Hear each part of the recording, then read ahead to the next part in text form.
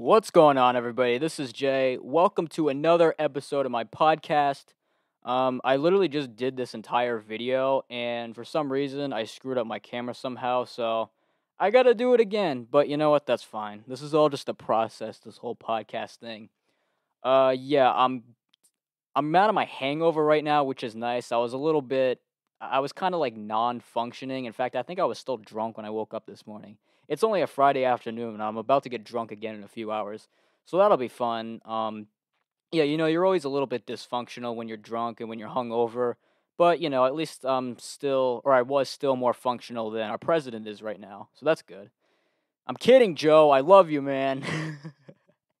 no, guys, it's just a joke. It's just a joke. Okay. Anyway, um, there's a couple things, two things on the agenda this afternoon. Elon, this is a big one. Elon Musk has taken over Twitter officially this after, well, no, yesterday evening or this morning, one of the two. And I'm going to jump into the Senate debate currently, or not Senate debate, the Senate, the Senate race going on. I'm still dysfunctional. Look at that. We got the Senate uh, election upcoming, so I'm going to talk about that a little. There's there's really nine states that are really up for grabs right now. There's a few that are kind of out of reach, but I'm just going to add them just for the sake of it. And we're going to talk about how close the Senate race really is, how it looks right now. We're going to dive into that. So let's get going. So, Elon Musk, to quote him, has freed the bird, or the bird is free, one of the two. He tweeted that um, this morning. He has officially taken over Twitter, and he immediately fired about 75% of Twitter's top executives. So, and you know, we all saw that coming. So, Twitter, as you know, is pretty bad for society. There's many crazy, crazy people on there saying crazy things, and as you might ex- might expect, a lot of them get banned, a lot of them get censored, and you know sometimes you just have to. That's the problem though with Twitter. Sometimes you just have to deal with those type of people you know, you can't always just censor whoever you want or whatever you want. I think there was uh, a woman that was on, I'm not sure whose podcast was it. She had no answers to the claims that she was getting. She was one of Twitter's top executives on why she was just banning people, and she had no answer for it. So now that Elon Musk is officially on board, we'll see what he does with Twitter. I would expect a lot more of people getting uncensored, a lot more people getting unbanned. People are going to be able to say what they have to say.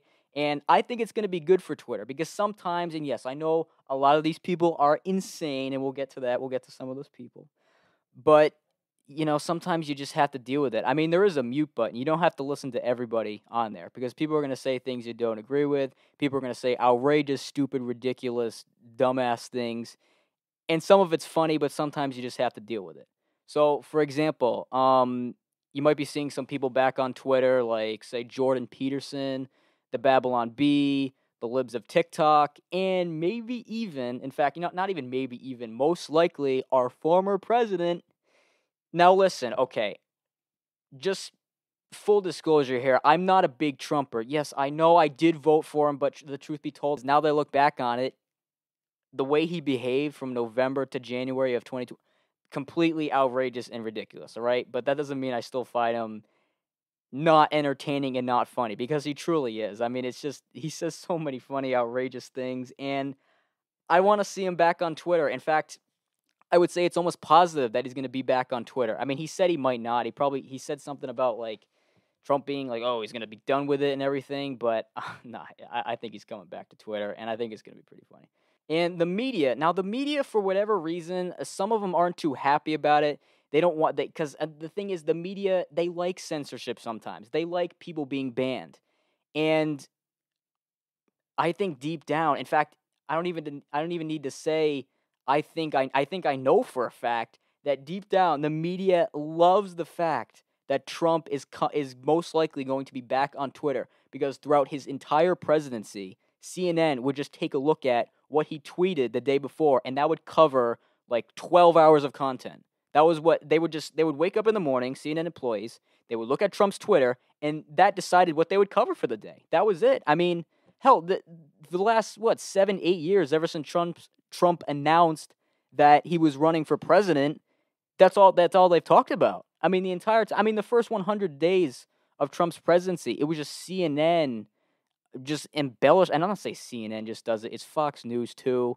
It's just them just embellishing about things, blowing them out of proportion. I mean, WikiLeaks literally leaked in 2018 that CNN was blowing the whole Russian scandal way out of proportion. So that's kind of crazy. But my point is is that the media loves Trump and that's why that's why he got elected in 2016. I mean, you look at every oh. single time, no way Trump has a chance. Obama with that phone drop, at least I will be a pre- drops the phone and you know you have Hillary bringing all her celebrities, Beyonce, Jay-Z, um, she brought a lot of celebrities out and they're all saying you must vote for Hillary Clinton. And so that played right into Trump's hands, and that's why he won. That's one of the reasons why he won in 2016. It is, and then the media just totally were like, "Oh wow, Trump's saying this, Trump's saying that," and throughout his entire presidency, Trump was just like, "I have some of the, we have some of the greatest nuclear power ever. Mexicans are this, Mexicans are that. Okay, um, we need to talk about ment, we gun control." is so bad in this country. Look, I love guns, I love guns, but the mental health is really bad. And by the way, I have one of the healthiest mentals this country has ever seen, okay? By the way, I also have some of the the best firepower this country has ever seen. I actually made the sun with a flamethrower. It's true. My investigators are looking into it right now, and they have confirmed that it might actually be true, okay?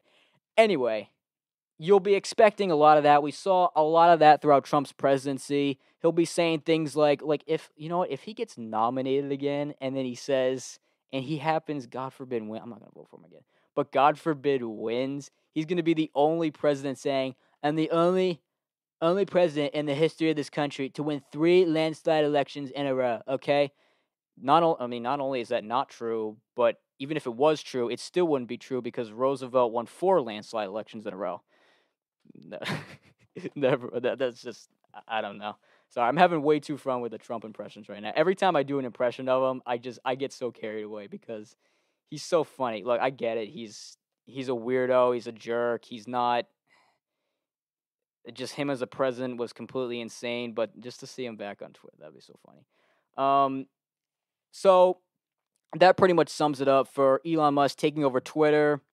Like I said, you're going to see a lot less, a lot less censorship. You're going to see a lot more people unbanned.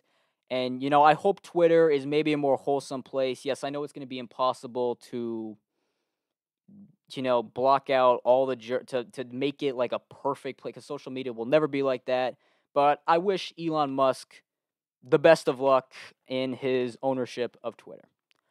So, next topic on the agenda we have the Senate race. And like I said, there are nine states to pay attention to this coming Tuesday.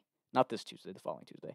Uh, they are New Hampshire, Georgia, North Carolina, Florida, Wisconsin, Nevada, Arizona, Pennsylvania, and Ohio. Those are the nine races. And as it looks right now, according to polls, Republicans are gaining some ground. They are gaining some ground. And I got to be honest with you. Initially, I did not think that Republicans were actually actually had that big of a chance. I shouldn't say that big of a chance, but it seemed like the odds were against them, right? And especially considering with the whole thing that happened with Georgia and them taking over Senate, I thought the momentum was going to be against them going forward. But like I mentioned last week, usually the midterm is a referendum on the president and our president, like I said, he's not doing a terrible job, but he's look at his disapproval rating is a lot higher than his approval rating, and it's been like that for well over a year now. A lot of people aren't happy with the job that Joe is doing, so I think you're going to see. Look, I, there's a lot of people saying, "Oh, you know, Democrats may hold on to Senate." I don't know, I'm not sure about that. According to a lot of the polls, yes, plenty of Republicans are still down, but they are really gaining traction right now. The Pennsylvania race is dead even, according to some polls. Some polls say Oz is still down, but he, he's he's I think with, uh, with bleh, but I think within but I think within the last few days, uh, after the debate between Fetterman and Oz, um, Fetterman um, did not have that great of a debate performance. I think his health worried a lot of people. So I think a lot more people are uh, voting for Oz. it's definitely the polls are certainly closing. I think it went he, he dropped the lead by at least a point since uh, since Monday, Tuesday, whenever the debate was. Now in Wisconsin, um, Wisconsin and Florida, uh, Republicans, same with North Carolina. Republicans are certainly running away with those. They look like they're going to hold on to those. Um, they have at least a three point lead going on right now, and it looks like it's going to stay that way. And that's for all the states. I think Rubio has like a seven point lead. I think Johnson has at least a three point lead. And what was the other one I just mentioned? Uh, what was it? North Carolina, Florida. North Carolina. Um, I think Budd has at least a three point lead currently. So, you know, we'll see. Ohio, definitely a close race. JD Vance and Tim Ryan have been sort of they've been changing their leads over the past few months. It's been back and forth, back and forth. So JD Vance is currently ahead right now, and some of the polls are saying that he'll maintain that lead until the end of the campaign. Nevada is dead even right now. Okay, it's Adam Laxalt versus Catherine Cortez, Mastio, Mastio, something like that. It seems like Adam Laxalt, he's either ahead or behind by literally like 0.1 or 2, so it's dead even in Nevada. That one's going to be super close. However, Laxalt has been gaining traction. He was down before, and now I think for one of the first times, according to the polls, he's actually taken the lead.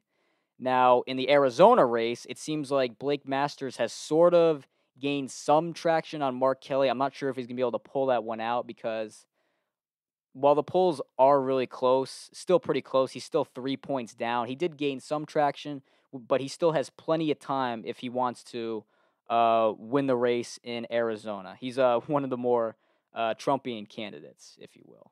Now, that brings us to Georgia. Georgia is, I think, I, I don't know how Herschel Walker is within a point of Raphael Warnock right now, but he is somehow. I mean, this is a dude that has gone through abortion claims. He claims he's pro life, but he's had abortions. He comes with a lot of baggage and literally just the other week pulled out a fake police badge claiming he works with the police and claiming I've never uh, pretended to work with the police while pulling out a fake police badge. And he's somehow down by less than a point. I, I don't know how that's possible, but maybe maybe uh, Herschel Walker will win that race. I have no idea. Uh, that brings us to New Hampshire. Now, Maggie Hassan, I think she's been dropping a little bit in the polls, but she might still hang on. We'll have to see. Now, this isn't me Republican wish casting. This is me simply saying that it actually looks good for Republicans right now. And I, you know, I do think there are quite a few Republicans that are good candidates, and there are others that aren't. Herschel Walker, if you couldn't tell. So that I'd say there's about five seats that Republicans uh, could grab, and at that, of course, gives them the majority in the Senate and if they win the House, that will give them the trifecta, which that hasn't happened since 1995. Like I said last week, you know that whole they you know they took over. It was the Democratic trifecta, and now it's a complete reversal. That hasn't happened in 28 years, and who knows? I think it's actually a better chance of it happening happening this year. So we'll see. Um, yeah, that's pretty much all I had to say. Hope you guys enjoyed this video. Um, yeah, a little, a little bit. I felt a little bit not dysfunctional today, but a little bit. I'm still coming out of my hangover. All right. Um, you know, it's late in October. It's getting closer to Halloween. It's Friday. It's a crazy time. I'm a crazy college student, so yeah. Um, but I am having fun with this podcast. Anyway, that's it. Um, I'll see you guys later. I'm gonna go get drunk again. Peace.